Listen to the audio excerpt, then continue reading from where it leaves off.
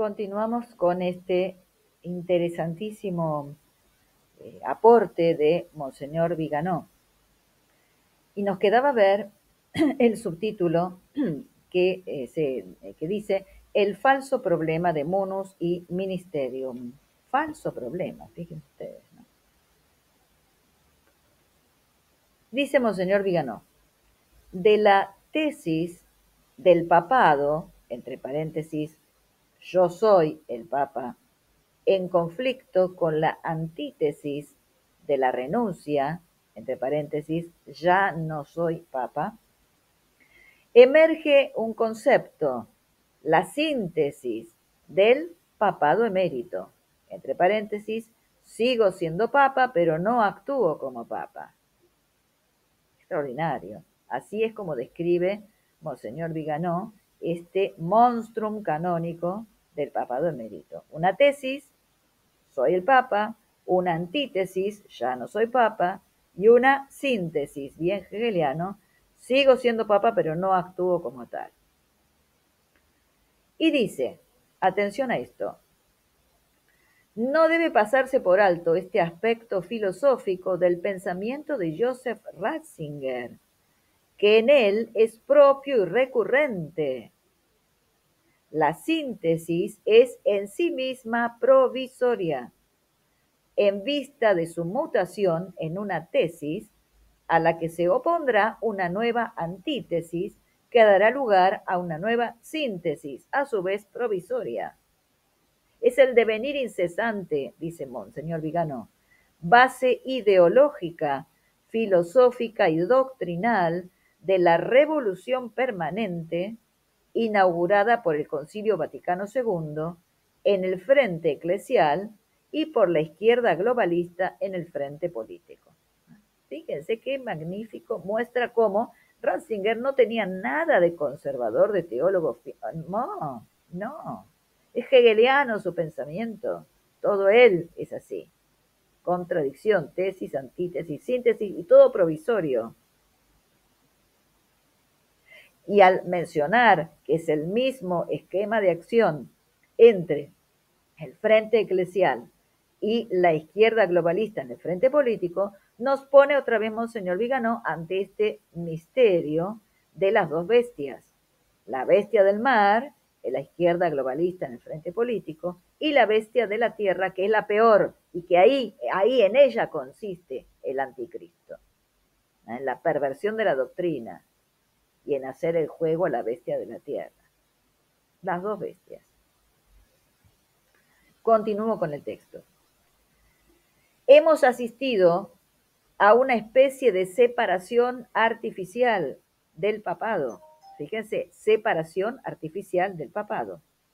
Por un lado, dice Monseñor Viganó, el Papa renunció al papado y por el otro, la persona, Joseph Ratzinger, trató de mantener algunos aspectos del mismo que le garantizaran protección y prestigio.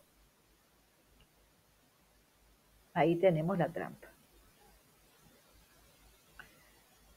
Y atención a lo que dice ahora, que el alejamiento físico de la sede apostólica podía aparecer como una forma de desaprobación de la línea de gobierno de la Iglesia impuesta por la Iglesia profunda bergoliana. Y entonces, el secretario personal Ratzinger, el secretario personal, recuerden,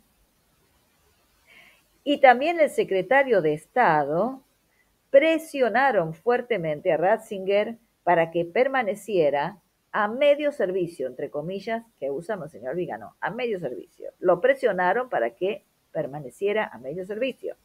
Por así decir, jugando, jugando con la separación ficticia entre munus y ministerium.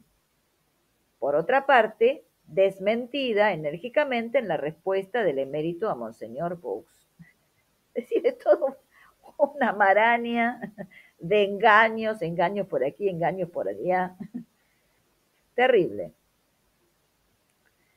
Luego dice, el profesor Enrico María Radaelli puso en evidencia esta bipartición arbitraria del mandato petrino. Desde el momento en que el primado petrino no puede dividirse, no puede dividirse entre munus y ministerium, ya que es una potestas que Cristo Rey y Pontífice confiere a quien ha sido elegido para ser obispo de Roma y sucesor de Pedro, la negación de Ratzinger, en la carta a Monseñor Nicolás Bux, decimos, de que no quiso separar munus y ministerium, está en contradicción con la propia admisión de Benedicto XVI, que ha basado el papado emérito en el modelo del episcopado emérito, que se basa precisamente en esta división artificial e imposible entre ser y hacer el papa contradicción permanente.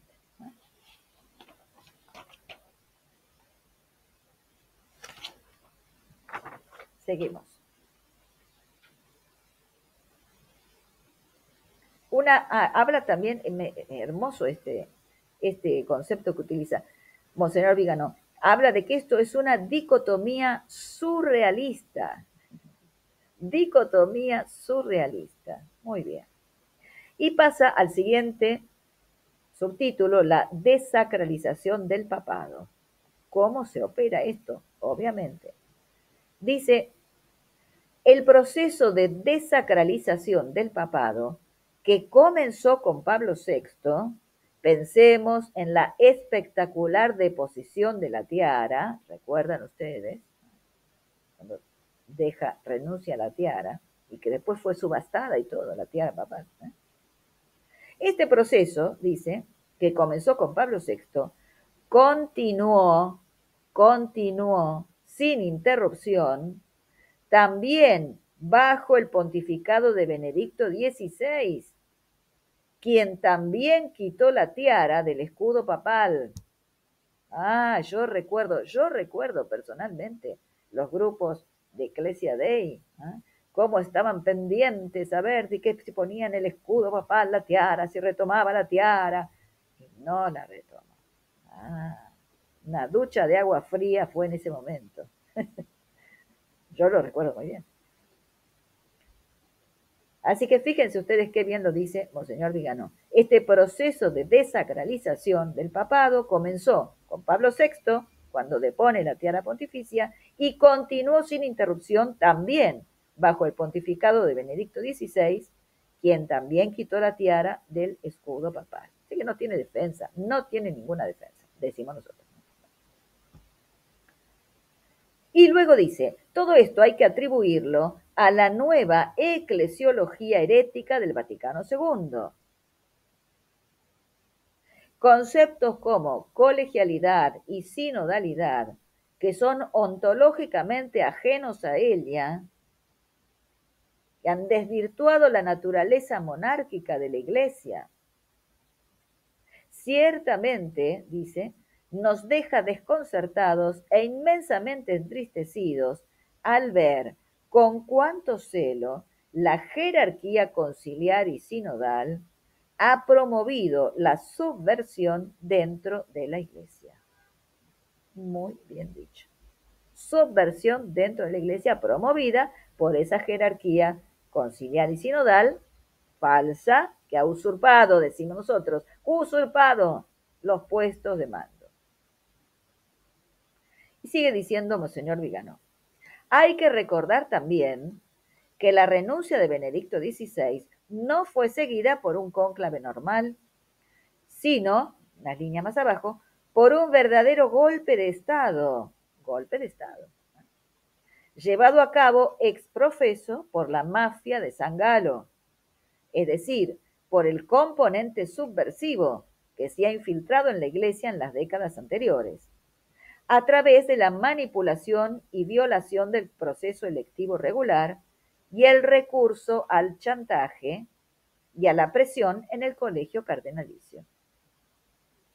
Recordamos, decimos nosotros, recuerden hermanos, recuerde usted también, Monseñor Vigano, que todo esto comenzó a la muerte del Papa Pío XII, ya con la elección varias veces eh, este, ocurrida del cardenal Siri, Gregorio XVII. Sigo con el texto. No olvidemos que un eminente prelado confió a sus conocidos que lo que había presenciado personalmente en el cónclave podía poner en peligro la validez de la elección de Jorge Mario Bergoglio. También en este caso, incomprensiblemente, se ha dejado de lado el bien de la Iglesia y la salvación de las almas en nombre de una observancia farisaica del secreto pontificio, tal vez no exenta totalmente de chantajes y amenazas. Excelente, excelente. Eh, esto es lo que viene ocurriendo desde la muerte del Papa Pío XII. Esto es así chantajes, amenazas y la complicidad de aquellos que son chantajeados y amenazados, porque prefieren, antes que la salvación de, las almas y el proclamar a los cuatro vientos la verdad de lo que ha ocurrido y sigue ocurriendo, prefieren este, esta observancia farisaica. Terrible. Y luego sigue diciendo, Monseñor Vigano, que eh, basado en el invento del Papa emérito, esta contradicción, contradicción, en la que Benedicto XVI renunció subjetivamente, pero objetivamente produjo un monstruo canónico, constituye un acto tan subversivo que hace nula la renuncia y la invalida.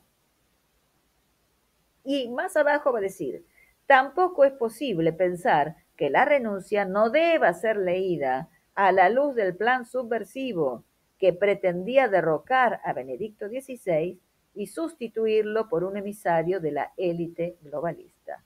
Es todo parte del mismo juego. ¿ah? Todo parte del mismo juego. Y en el último párrafo que voy a leer, dice, el castillo de mentiras en el que cooperan laicos, sacerdotes y prelados, que cooperan, dice incluso de buena fe, sigue siendo una jaula, una jaula en la que se han encerrado a sí mismos. Una jaula. La trampa. En la dramatización mediática, los actores Ratzinger y Bergoglio representan dos etapas sucesivas de un mismo proceso revolucionario. Ah, dice Ratzinger y Bergoglio, nos han sido presentados como portadores de teologías antitéticas, cuando en realidad representan dos etapas sucesivas de un mismo proceso revolucionario. Entonces, yo humildemente les acercaría esta reflexión a Monseñor Vigano porque en el texto, si no, parece eh, una, grave contradicción. Em, dejemos de hablar de renuncia válida, renuncia inválida, de monstruo canónico, sí, monstruo canónico, pero a ver, recordemos que es hereje. Ratzinger fue hereje y no se corrigió de ninguna de sus enseñanzas, entre comillas. ¿no? Ya nomás los invito y le me atrevo a invitar a señor Vigano a ver el video em, analiza la introducción al cristianismo. Eso jamás fue conocido, fue corregido. Les voy a dejar el link a ese video. ¿ah? Y le pido también a Monseñor Vigano que lo vea, donde está analizado la gravedad de lo que postulaba ahí Joseph Ratzinger, y que se continúa enseñando en los centros de formación, entre comillas, del Novus Ordo. Todos los pobres incautos que van a estudiar, sea em, estudios superiores religiosos como los mismos que pretenden ser sacerdotes en los seminarios, todavía estudian esas barbaridades de la introducción al cristianismo, cuya curatela la introducción al cristianismo y todas las obras de Joseph Ratzinger están en manos del cardenal eh, Müller. Entonces, nunca fue corregido nada. Entonces, Monseñor Viganó, por favor, dé un paso más en la coherencia que está teniendo, en la maravillosa, en los maravillosos aportes que está haciendo, le pedimos, dé un paso más, vaya hasta el final, hasta el final.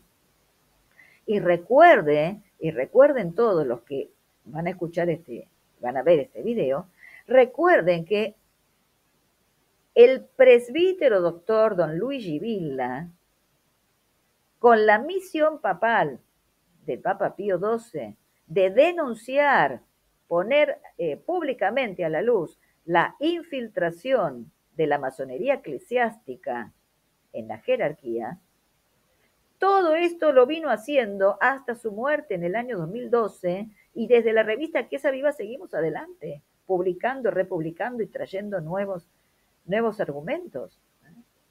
Y ahora quería eh, justamente hacer, em, hacer un llamado de atención para que se vuelva eso, no desprecien el testimonio de la única persona absolutamente autorizada para decir qué es lo que ha pasado, que era el padre Luigi Villa, por su desempeño en el Santo Oficio, con misión papal.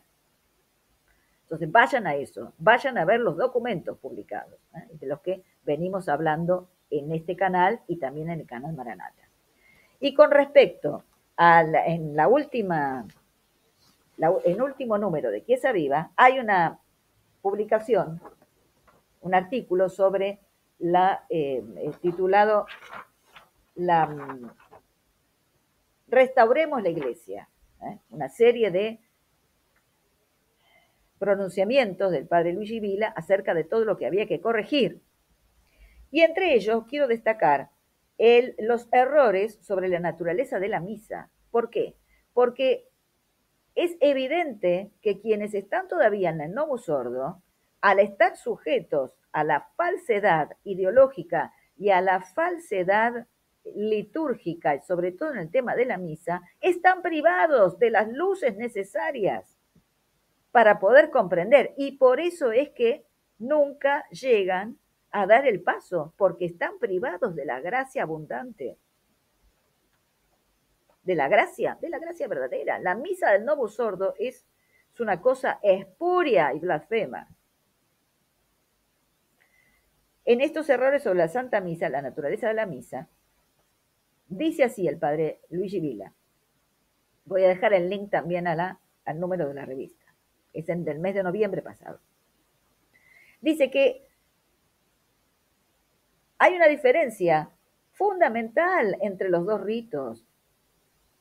El de Pablo VI permite negar la fe católica en el sacrificio de la misa y el rito católico, codificado por San Pío X, obliga en cambio a profesar la validez del sacrificio en la misa. En la presentación del breve examen crítico de la nueva misa Pablo VI, los cardenales Ottaviani y Bacci dijeron acerca del rito de San Pío V que este rito había erigido una barrera infranqueable contra toda herejía que podría dañar la integridad del misterio. Y bueno, pues precisamente esta barrera infranqueable en el rito de San Pío V es que las palabras de la consagración eran absolutamente unívocas y no podían de ningún modo ser entendidas fuera del sentido católico.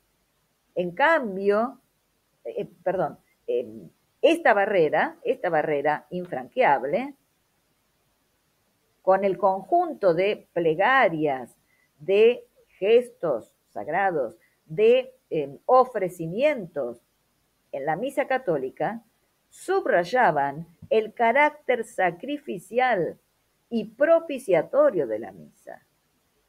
La misa de San Pío V.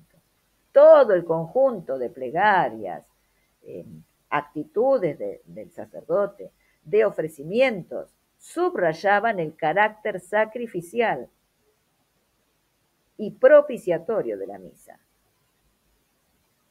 los cuales fueron absolutamente eh, desaparecidos por la reforma de Pablo VI. Por lo tanto, ha entrado de lleno el sentido protestante que ha minado la integridad del magisterio. Entró en ese rito, en la misa de Pablo VI. Esfuma, la misa de Pablo VI, esfuma la teología del sacrificio. Y dice el padre Vila, el nuevo rito es, por lo tanto, por lo menos, equívoco, por lo menos equívoco, porque no significa ya transustanciación, ni la produce. Atención, en sí mismo el rito no significa transustanciación y por lo tanto no la puede producir. Eso en cuanto a la misa. ¿eh? Agreguemos, debemos agregar, queridos hermanos, queridas madres, el gravísimo problema introducido por la em, reforma del em, pontifical, las ceremonias de consagración de obispos. Lo primero que tocaron, Bonini con su equipo, Bonini Masón con su equipo. ¿eh? Terrible, terrible entonces. Entonces entendemos por qué. A los que están todavía en el Novus Sordo, aún los neocones, los neocones, especialmente dirían mejor, especialmente los neocones, no quieren ver, no pueden terminar de ver la realidad porque están privados de la gracia, no tienen las luces. Y entonces oscurecen a todos los demás.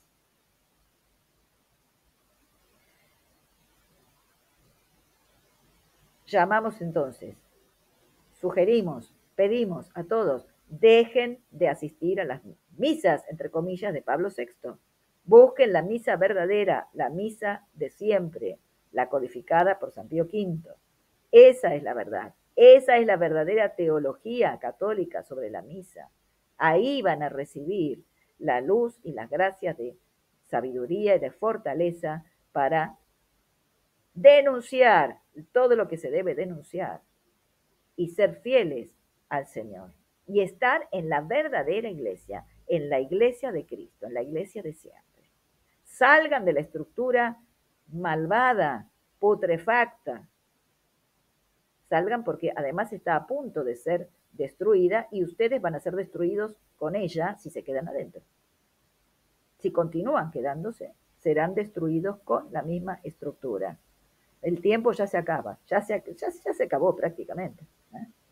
Así que atención, atención, aprovechen los minutos, entre comillas, que todavía tenemos. En el nombre del Padre y del Hijo y del Espíritu Santo. Amén.